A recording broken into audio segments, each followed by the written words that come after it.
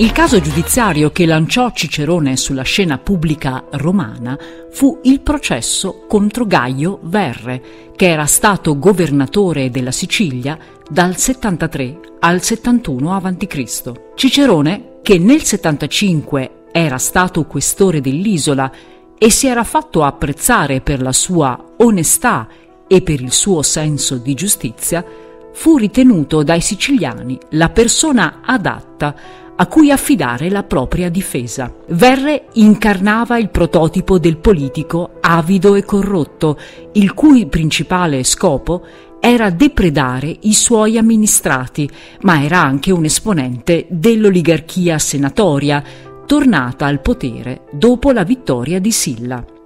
La causa contro di lui assumeva quindi implicazioni politiche, era un colpo sferrato allo strapotere dell'aristocrazia. Perciò gli aristocratici fecero quadrato attorno all'accusato e la difesa fu affidata al più famoso avvocato dell'epoca, Quinto Ortensio Ortalo. Nel processo per concussione contro Verre, Cicerone assunse il ruolo di accusatore pubblico, mentre Ortensio quello di patronus o difensore di Verre.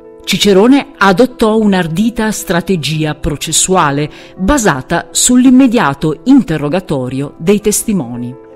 Non fece in tempo neppure a pronunciare tutte le orazioni preparate per le varie fasi del processo che l'imputato fuggì a Marsiglia, ammettendo implicitamente la propria colpevolezza ed evitando così pene più gravi. Cicerone pubblicò poco dopo le orazioni del processo, anche quelle non pronunciate. Sono le verrine che assieme alle catilinarie e alle filippiche costituiscono il corpus dei discorsi più importanti tra i 58 che ci sono pervenuti. Le verrine segnano un passaggio decisivo nella vicenda privata e pubblica dell'oratore, poiché lo straordinario successo ottenuto contro Verre impresse una svolta determinante nella carriera forense e politica di Cicerone.